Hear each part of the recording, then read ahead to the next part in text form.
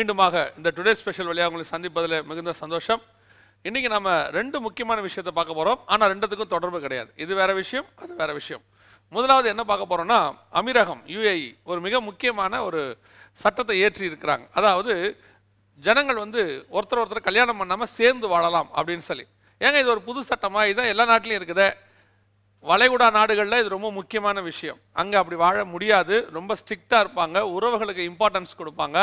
அப்படிப்பட்ட நாடுகளில் கணவனும் மனைவியும் திருமணம் செய்து கொள்ளாமல் சேர்ந்து வாழலாங்கிற சட்டம் வந்து மேற்கத்திய கலாச்சாரம் வெஸ்டர்ன் கல்ச்சர் இதை நாம் எதிர்க்கிறோம். இன்றைக்கும் எதிர்க்கிறோம். வேதாகாமத்தின்படி நாம் அதை எதிர்க்கத்தான் செய்கிறோம் ஆனால் இன்னைக்கு சட்டங்கள் ஏற்றி எல்லா நாடுகளும் அதை சரி என்று சொல்லிவிட்டாலும் கூட இன்றும் கிறிஸ்தவத்தில் நாம் அதை அதிகமாக எதிர்க்கிறோம். கூடாது என்று சொல்லுகிறோம். விவாகம் யாவருக்குள்ளேயும் கனமுள்ளதாக இருக்குது என்று சொல்லுகிறோம். அப்படி இருக்கும்போது இன்னைக்கு அங்கே வந்திருக்கு. சரி இதுக்கும் நமக்கு என்ன சம்மந்தம் ஏன் அது நம்ம ரொம்ப இம்பார்ட்டண்ட்டாக பேசுகிறோம் அப்படின்னா சில மாதங்களுக்கு முன்பாக என் நண்பர்களோடு கூட நான் பேசிக்கொண்டிருந்தேன். பேசிக்கொண்டிருக்கும் போது சவுதி அரேபியாவுக்குள்ள சில டெமோக்ரஸி என்று சொல்லக்கூடிய குடியரசு அல்லது ஜனநாயகம் உள்ளே நுழையும் என்று சொன்னோம். அதை நம்ம ஏற்கனவே டுடே ஸ்பெஷல்லையும் சொல்லியிருக்கிறோம். ஏன் சொன்னால் இந்த சவுதி கிங்டம் அல்லது இந்த வளைகுடா நாட்டில் இருக்கக்கூடியதான கிங்டம் ராஜ்யம் தான் லாஸ்ட் இது இவங்க தான் கடைசி. இதுக்குள்ளே இந்த டெமோக்ரஸி வந்துருச்சுன்னா ஜனநாயகம் வந்துருச்சுன்னா உலகத்தினுடைய கடைசி ராஜ்யபாரம் முடிவுக்கு வரும். இப்போ நீங்கள் இங்கிலாந்து அரசியார் இருக்கிறாங்க.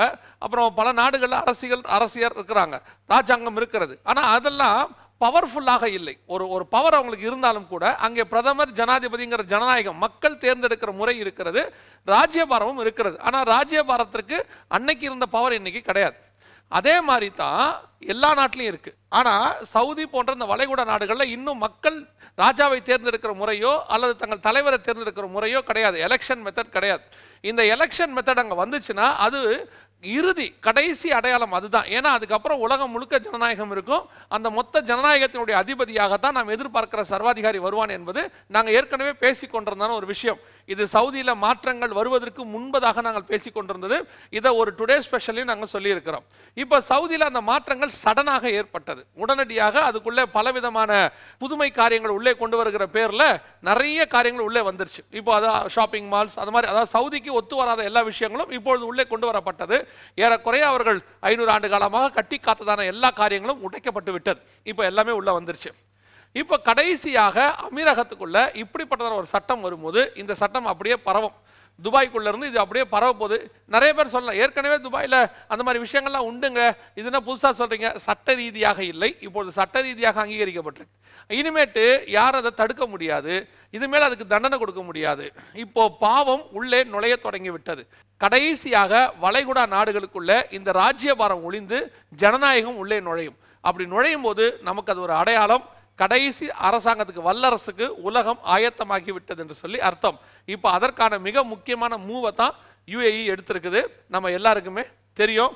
இப்போ அவங்க சமீபத்தில் ஏற்பட்ட பல மாற்றங்கள் இதற்கான ஒரு வழிவகையை செய்திருக்கிறது. இனி இந்த முறை அப்படியே கொஞ்சம் கொஞ்சமாக எல்லா வளைகுடா நாடுகளுக்குள்ளேயும் போகும். ஏன்னா இஸ்ரேல் கூட அவங்க ஒப்பந்தம் ஃபஸ்ட்டு யார் பண்ணனா யூஏஇ தான் பண்ணாங்க. அதுக்கப்புறம் தான் அது அப்படியே எல்லா இஸ்லாமிய நாடுகளும் ஏற்றுக்கொண்டது. ஏன்னா இந்த துபாயை பேஸ் பண்ணி நிறைய பொருளாதாரம் இருக்குது துபாயை பகச்சிக்க முடியாத நாடுகள் நிறைய அங்கே இருக்குது அப்படி இருக்கும்போது இந்த துபாய் ஒரு முடிவு எடுக்கும் போது அதை மற்ற நாடுகள் பல நாடுகள் காத்திருக்கும். இவங்க ஆரம்பித்தாங்கன்னா உடனே அவங்கள ஆரம்பிச்சிருவாங்க. இப்போ அதான் நடக்க போகுது. இது ஃபஸ்ட்டு நியூஸ் இது வந்து ஒரு மிகப்பெரியதான மாற்றம். ஏதோ சாதாரணமாக ஒரு நாட்டில் போடுற சட்டம் நினைக்காதீங்க. அது உலகளாவிய மிகப்பெரியதான மாற்றத்திற்கான வழிவகை. கடைசியாக இந்த மேற்கத்திய கலாச்சாரம் அதாவது இந்த பாவத்தின் கலாச்சாரம் உள்ளுக்குள்ளே நுழைய தொடங்கி விட்டது இனி அங்கே மிகப்பெரிய அளவில் பாவம் தலைவிரித்து ஆடப் போகிறது இது நம்பர் ஒன் இப்போ நம்ம ரெண்டாவது கருத்துக்குள்ளே கடந்து போக போகிறோம். என்னன்னு சொன்னால் இது நம்ம நாட்டை பற்றினது அதாவது ரெண்டாயிரத்தி இருபத்தி ரெண்டு வரைக்கும் கொரோனா வேக்சினுக்கான அந்த மெடிசன் நமக்கு கிடைக்காது. ரெண்டாயிரத்தி இருபத்தி ரெண்டில் தான் கிடைக்கும்னு சொல்லி எய்ம்ஸ் மெடிக்கல் டைரக்டர் வந்து நமக்கு சொல்லியிருக்கிறாரு. அந்த நியூஸ் உங்களுக்கு வந்திருக்கோம் நீங்கள் பார்த்துருப்பீங்க. இல்லைன்னா பின்னாடி இருக்குது நீங்கள் பார்த்துக்கொள்ளுங்க. இந்த மிக முக்கியமான ஒரு நியூஸ் ஏன்னா இப்போ திந்துரும் நாளைக்கு திந்துரும் இன்றைக்கி வந்துடும் சரியாயிரும் இப்படி சொல்லிக்கிட்டு இருந்த காலகட்டம் போக நாங்கள் ஏற்கனவே சொன்னபடி ரெண்டாயிரத்தி இருபத்தொன்று மிட்டுக்கு மேலே தான் நமக்கு இந்த மெடிசனே வரும் அப்படின்னு பல முறை நாம் சொல்லியிருந்தோம்.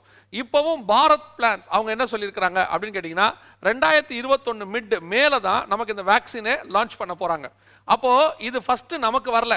முதல்ல நமக்கு கொடுக்கல. ஃபஸ்ட்டு யாருக்கு கொடுக்க போகிறாங்கன்னா முப்பது கோடி டாக்டர்ஸ் நர்சஸ் துப்புரவு தொழிலாளர்கள் இந்த மாதிரி சமூகத்துக்கு முதல்ல வேலை செய்து கொண்டிருக்கிற இப்படிப்பட்டவர்களுக்கு தான் ஃபஸ்ட்டு கொடுக்குறாங்க. அதுக்கப்புறம் தான் பொதுமக்களுக்கு கொண்டு வராங்க.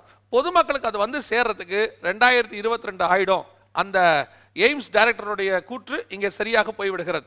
அப்படின்னா நமக்கு இன்னும் ஒன்றரை வருஷத்துக்கு ஏறக்குறைய ஒன்றரை வருஷத்துக்குள்ள இந்த மருந்து நமக்கு கிடைப்பதற்கு வாய்ப்பில்லை அப்படிங்கிறது டைரக்டரும் சொல்கிறாங்க உலக சுகாதார மையமும் சொல்லுது எல்லாரும் சொல்கிறாங்க இதுக்கு நடுவில் உலக சுகாதார மையம் சொல்லக்கூடிய இன்னொரு இன்ஃபர்மேஷன் நம்ம வச்சுக்கணும். அவங்க என்ன சொல்கிறாங்க இந்த கொரோனாங்கிறது கொஞ்சம் கொஞ்சமாக அப்படியே கொஞ்சம் டைலூட் ஆகிடும் ஆனால் கொரோனாவை விட வீரியமான இன்னொன்று வருது. அதுக்கு நீங்கள் ரெடி ஆகிக்கோங்க அப்படின்னு சொல்லி அவங்களும் சொல்லியிருக்கிறாங்க.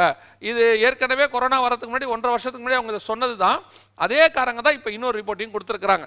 நம்ம பல நேரங்களில் இந்த தீர்க்க தரிசனங்களுக்கு இம்பார்ட்டன்ஸ் கொடுத்து அதாவது அது ஒரு ஆறுதலாகவும் இருக்கும்னு நினைக்கிறீங்களா? இந்த மாதிரி ஒரு பிரச்சனை நடக்கும்போது ஒரு ஆறுதலான ஒரு வார்த்தை வரும்போது கேட்கறதுக்கு நல்லா தான் இருக்கும். ஆனால் நிதர்சனமான உண்மை என்னங்கிறத நீங்கள் புரிஞ்சுக்கணும். அதான் ரொம்ப விஷயம்.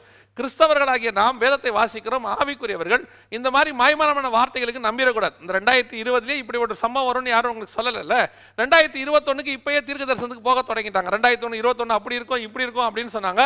இப்போது உலக ப்ராக்டிக்கலாக வச்சு நான் உங்களுக்கு சொல்கிறேன் நான் ப்ராஃபிட் கிடையாது. எப்பவுமே நான் ப்ராஃபஸி சொல்கிறது இல்லை அந்த இருக்கக்கூடியதான விஷயத்தை வச்சு நிதர்சனமாக சொல்கிறோம் ரெண்டாயிரத்தி இருபத்தொன்று லாஸ்ட் வரைக்கும் மெடிசன் நமக்கு கிடைக்கிறது கஷ்டம் அப்படின்னு. இப்போவே ஸ்கூல்ஸ் திறக்கலாம் வேணாம் போனா அப்படின்னு சொல்லி நிறைய ஆர்கியூமெண்ட் பண்ணி கடைசியில் திறக்க முடியாதுங்கிற நிலைமைக்கு இப்போ வந்துட்டாங்க. எல்லா நாடுகளையும் ஆந்திராவில் திறந்து பிள்ளைகளுக்கு பிரச்சனை வந்துச்சுன்னு திருப்பி க்ளோஸ் பண்ணிட்டாங்க. இப்போ ரெண்டாயிரத்தி இருபத்தொன்று ஏப்ரல் மே வரைக்குமே எக்ஸாம் நடக்குமா நடக்காதாங்கிறது வந்து ஒரு பெரிய பட்டிமன்றம் தான் வச்சுக்கோங்களேன். இப்போ அதுவும் போய்க்கொண்டே இருக்கிறது. இப்படியே கொஞ்சம் கொஞ்சமாக உங்களை கடத்தி கொண்டு போயிடுவாங்க திருப்பி இந்த ரெண்டாயிரத்தி இருபத்தொன்று ஜனவரி ஆரம்பிக்கும் போது நம்ம ஆளுங்க திருப்பி வந்து அடிச்சு நொறுக்குவாங்க உங்களை. உங்களுக்கு பெரிய ப்ராப்பர்ஸில் அடிச்சு உருக்குவாங்க. தயவு செய்து இப்பயாவது விழிச்சுக்கொள்ளுங்க.